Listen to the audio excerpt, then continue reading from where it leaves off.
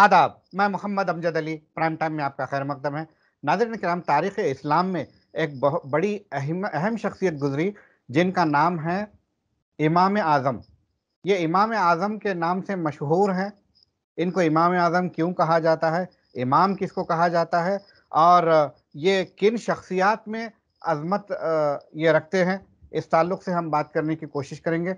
हमारे साथ मौजूद हैं ख़तीब जामा मस्जिद बरकत विल्ला बंजरा हिल्स जनाब शेख कादर मुहीद्दीन काजी साहब नाम से ही मौसम है ये काजी भी हैं। और इसके अलावा ये नाजिम उमूर हैं खानखा कादरिया इब्राहिमिया बंजरा हिल्स के जिसके तहत काफ़ी जो है सोशल एक्टिविटीज़ चलाई जाती हैं। कादर मुहीद्दीन साहब आपका बीबीएन चैनल पर खैर मकदम है। वालेकुम अस्सलाम वरहमतुल्लाहि इमाम आज़म रज़ी तु इनका असल नाम क्या है? और इनको इमाम आज़म क्यों कहा जाता है?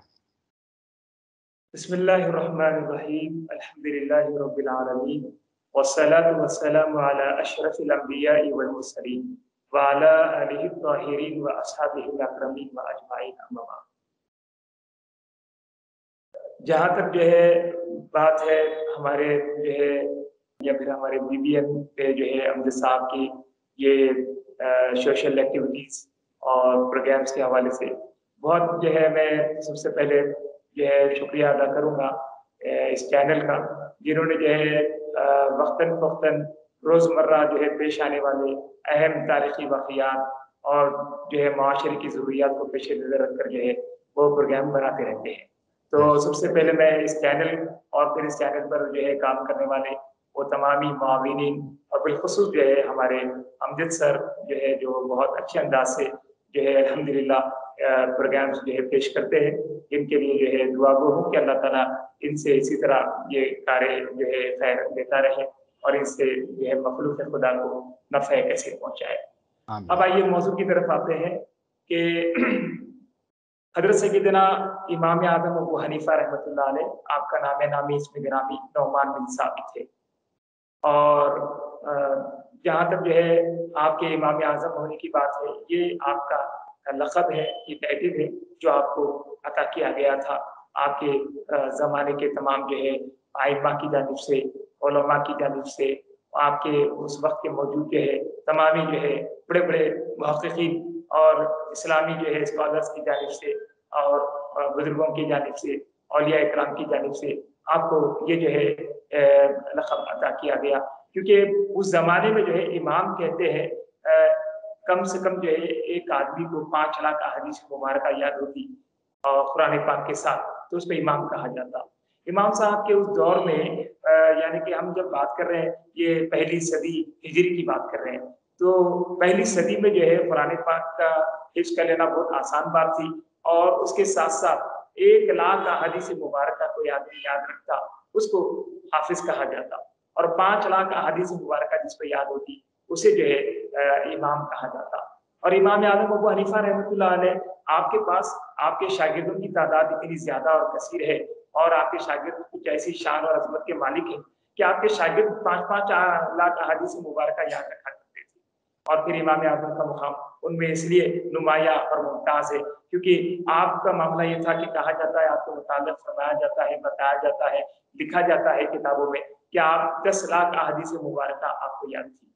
तो इस तरह जो है अजीजान ग्रामी आपको जो है तमाम इमामों में इलमी तौर पर और जो है यानी कि ज़ाहिर बातिन में बड़ी जो है बड़ी बुलंद पाया शख्सियत के हामिद थे आप। इसलिए आपको ये शान शौकत और अजमत हासिल है। इसलिए आपको इमाम आज़म कहा जाता है, जब भी कोई मसला दरपेश होता, लोग आपसे रुजू करते और आप जो है बड़े बड़े मुहदसी बड़े बड़े जो है अपने वक्त के जो है, उन बातों को समझ नहीं पाते और उस मामले में परेशान होते आप उन मसाइल को जो है आपके सामने रखते ही उसको जो है आप एक दो लम्बे के जो है तवक़ुफ़ के साथ ही उन मसले का हल बता देते। बरदस्ता जो है जब आप इनायत फरमा तो इससे जो है आपकी इल्मी शान और लियाकत वो बुलंद थी जिससे जो है लोग देखे आपकी शान इल्मी शान को शौकत को आपकी फिरासत को आपकी जहानत को जकावत को।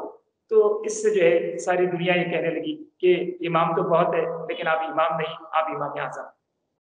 आपका ये मुकाम जो है रहा। अब मैं ये जानना चाहूँगा कि इमाम आज़म अबू हनीफा भी कहा जाता है उनको। तो अबू हनीफा का लकब कैसे पड़ा और किसने दिया देखिए ये कुनियत है। बात यह है कि अरब में जो है अपने नाम के अलावा जो है कुनियत से भी याद किया जाता है। जैसा कि जो है हज़रत अली रज़ी अल्लाह का बुजुराब ये जो है कुनियत है। जैसा आपको हुरैरा रज़ी अल्लाह आपका नाम अबू रहमान है लेकिन नबी पाक सलाम ने आपको बिल्ली के साथ देखा। तो अरबी जबान में हुरैरा कहा जाता है बिल्ली को। तो आपने अबू हुरैरा ए बिल्ली वाले कहकर पुकारा। तो हजूर अली सलाम ने ये इस नाम से याद किया है।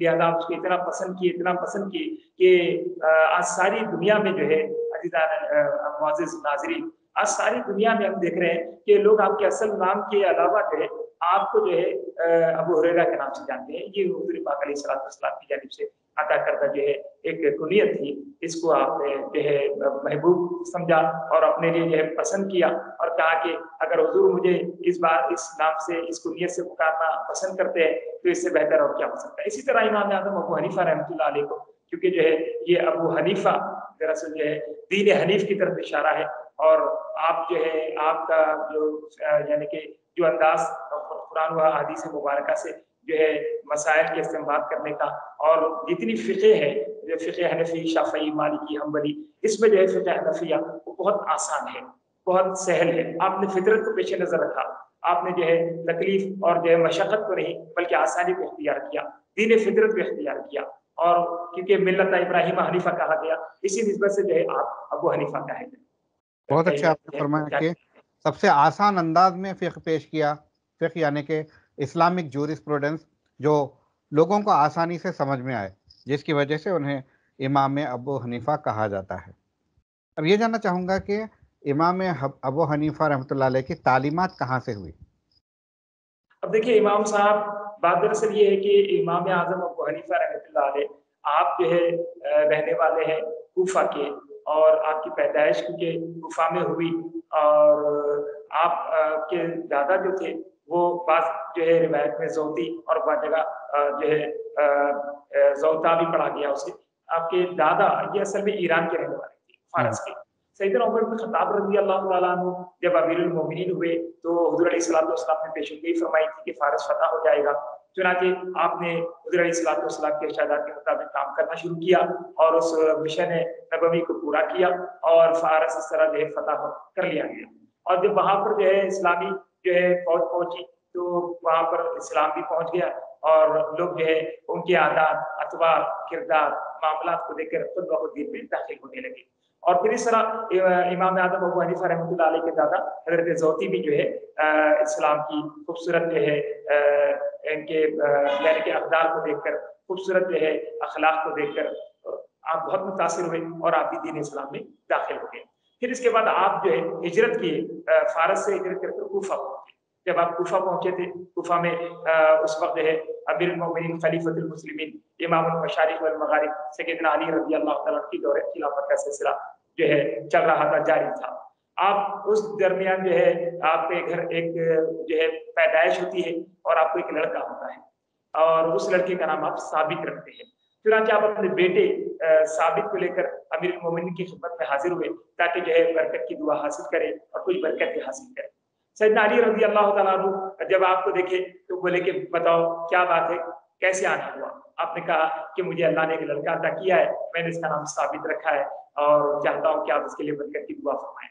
तो उस वक्त है अमीर मोमिन सैदना मौलाए कायनात हज़रत अली रज़ी अल्लाह जो है दुआ फरमाए और आप जो है बड़ी शफकत और मोहब्बत के साथ जो है बच्चे के सर पर हाथ रखे और बरकत की दुआ फरमाए। हज़रत अली रज़ी अल्लाह जो है चुनाचे हज़रत साबित के जो है सर पर हाथ रखे और उसके बाद जो है दुआ फरमाए कि अल्लाह ताला तुम्हें भी बरकत अता फरमाए और तुम्हारे आने वाली औलाद को भी। उमूमन ये होता है कि जब बच्चों को जो है ले जाया जाता है दुआ के लिए बुज़ुर्गों के पास तो बच्चे के लिए उसके मुस्तबिल के लिए और उसकी बरकत के लिए दुआ की जाती है हम्म। लेकिन यहाँ पर जो है सैदना अली रज़ी अल्लाह ने उस बच्चे के बच्चे के लिए दुआ फरमाई ये बहुत हम्म। अनोखी बात थी और ये बहुत बड़े जो है कमाल की बात थी हज़रत अली रज़ी अल्लाह दुआ फरमाए आपके लिए और फिर आपके आने वाली औलाद के लिए भी आपने दुआ फरमाई इस तरह जो है हज़रत साबित के घर उम्मत का एक बड़ा इमाम, सिराजुल उम्मा, उम्मत का चिराग, इमाम आज़म अबू हनीफा रहमत पैदा हुए।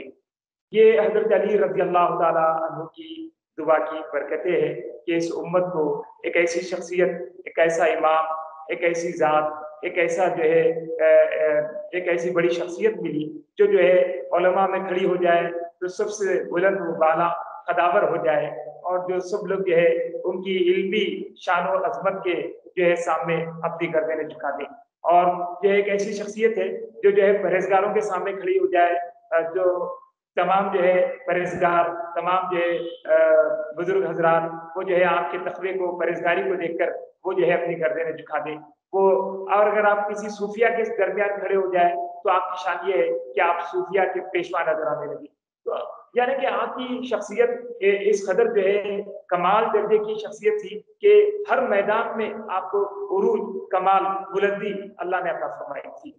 इसी वजह से आपको ऊँचे मुकाम पर पहुँचे और नबी पाक सलाम ने पहले ही बशारत भी दे दी थी और इशाद फरमाया था कि जैसा कि सूर्य जुमा की आयत मुबारक है जिसमें हजूर पाक की बेसत का तस्करा किया गया और बताया गया कि हजूर सलाम की आमद की बरकत से कौम की जहालत दूर हुई और उन्हें इल्म व हिकमत अता किया गया। और उसके बाद में फरमाया गया कि वह कि इसी तरह जो है इल्म की रोशनी लेकर आएँगे, हमारे बाद भी, आखिरीन में भी ऐसे लोग होंगे। साहबा इकराम ने पूछा, या रसूलुल्लाह सल्लल्लाहु अलैहि वसल्लम, अब हमारे बाद वो कौन है आखिरी जिनका ज़िक्र कुरान ने किया है। वो कौन इससे मुराद हो सकते हैं तो आप सल्लल्लाहु अलैहि वसल्लम साहबा के दरमियान तशरीफ़ फरमाते, आप वसल्लम ने अपनी निगाहें जो है नबूवत से नज़र डाली और तमाम साहबा को देखा और इधर सलमान फारसी रज़ी अल्लाह तशरीफ़ फरमा थे हजूर सलाम सलमान फारसी रज़ी अल्लाह के देखे और अपना दस्ते मुबारक उनके सर पर रखा और फिर जो है फरमाया कि सलमान फारसी की जो है फारस से, इनकी नस्ल से जो है, कुछ लोग ऐसे होंगे कि अगर इल्म जो है, सुरैया की बुलंदी पर होगा, अगर ईमान जो है, वो सुरैया की बुलंदी पर होगा तो वो लोग जो है, ज़रूर उसे हासिल कर लेंगे और उसकी बरकतों को समझ लेंगे। तो इस तरह जो है, ये ये जो बशारत आप सल्लल्लाहु अलैहि वसल्लम ने आपकी विलादत से पहले जो है, इरशाद फरमाई थी कि कुछ ऐसे अहले फारस होंगे कि जो जो है सुरैया की बुलंदी से भी जो है, ईमान को, इल्म की रोशनी को ज़मीन पर लेकर आएँगे और इस कदर जो है, इल्म को आम करेंगे। तो अब इस बारे में जो है मुहदसिन इमाम जलाल सयूती रहमत और इमाम हसनी रहमत और दिगर जो है, तमामी मुहदसिन का इतफाक है और आप फरमाते हैं कि इस हदीस मुबारक के अव्वलिन इस्लाम अगर कोई जात है तो वो इमाम आज़म अबू हनीफा रहमत की है।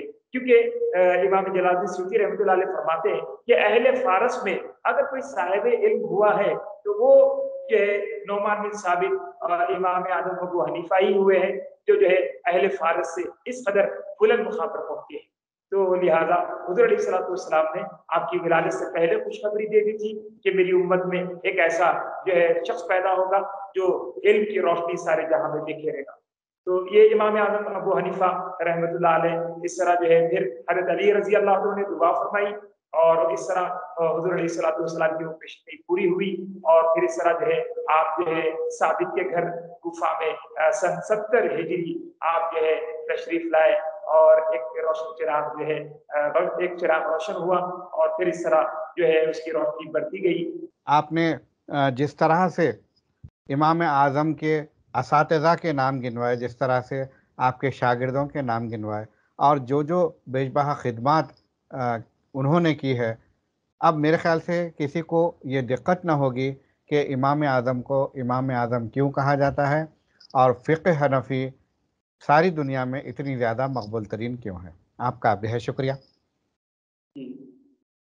नाजिन ये थे मौलाना शेख कादर मोहिउद्दीन साहब जो कि इमाम आज़म अबू हनीफ़ा रज़ी तु के ताल्लुक़ से तफसीत बता रहे थे कि उन्हें इमाम आज़म क्यों कहा गया।